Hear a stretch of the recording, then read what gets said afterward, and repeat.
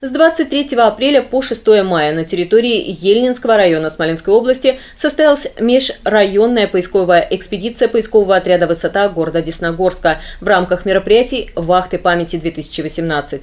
В экспедиции принимало участие 30 бойцов отряда, из них 4 несовершеннолетних стажера.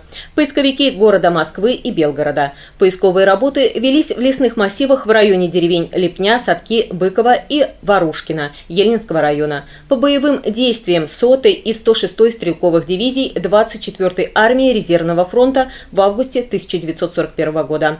Всего за время работы бойцами поискового отряда обнаружены и эксгумированы останки 96 погибших воинов.